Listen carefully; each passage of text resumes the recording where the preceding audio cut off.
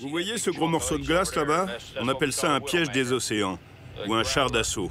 En fait, c'est aussi grand que notre bateau, si ce n'est plus. Si tu rentres dans un de ces trucs, tu te retrouves éventré. Cela fait deux heures qu'ils traversent ce champ de glace. Les courants froids s'intensifient et la glace se fait plus dense. Par ici, la glace est plus épaisse, beaucoup plus épaisse.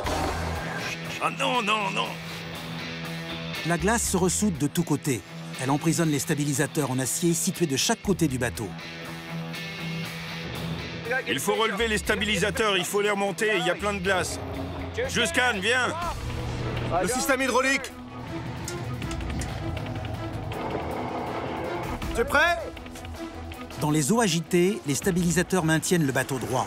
Mais dans la glace, ils peuvent s'avérer très dangereux. On peut pas remonter le stabilisateur s'il est sous la glace. Si on fait ça et qu'il se prend dans un morceau de banquise, il embarquera tout le bateau. Le mât, les booms et tout le bazar. Tout ce qui est sur le toit sera arraché. C'est bon On a relevé le stabilisateur, on est tranquille. Super, maintenant il faut qu'on dégage d'ici. Oui. Guide-moi. Un peu plus à bâbord, Richard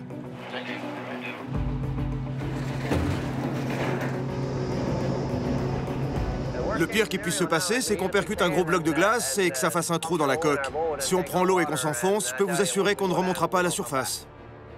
Vous savez, ces eaux sont très dangereuses. Il suffit de quelques minutes pour y passer. Gros bloc à tribord, capitaine Attends, attends, attends. Oh, c'est pas vrai Je crois qu'on vient d'en heurter un gros. Juscan Va vérifier dans quel état est la coque. Ok, je vais jeter un coup d'œil. J'y suis